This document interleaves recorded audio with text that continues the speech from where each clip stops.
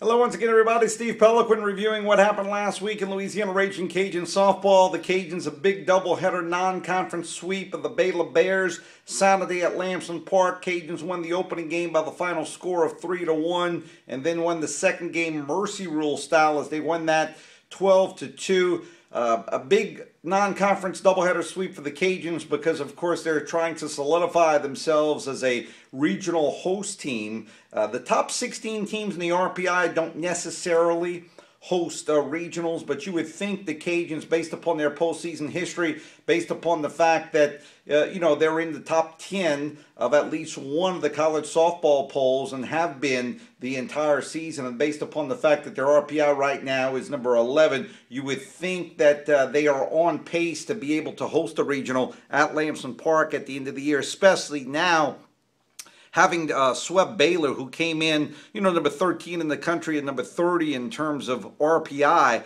Uh, of course, you can't rest on your laurels right now, but you would have to think that if the Caj- that unless the Cajuns really just collapse the rest of the way, that they will be a regional host team. But of course, they're also searching for uh, maybe being an overall national seed, such as they were last year. And if you're a national seed, of course, you get to host a super regional. But good weekend for the Cajuns. They win game one, three to one. Jordan Wallace, the winning pitcher in that game, and she was outstanding. The Cajuns are going to need really all three of their pitchers, Jordan Wallace, Alex Stewart, and Christina Hamilton, c- to contribute the rest of the year and in regional play if they're going to be successful. Speaking of the latter two, Christina Hamilton and Jordan. Uh, uh, or should I say Alex Stewart, uh, they combined to win game two. It was Stewart that actually got the victory in that second game as she improved to 9 0 on the year. The Cajuns down 2 to nothing going into the bottom half of the fourth inning. Had a 12 run fourth inning against a very good Baylor team to go on uh, to the doubleheader sweep. So the Cajuns now 32 and 5 on the season.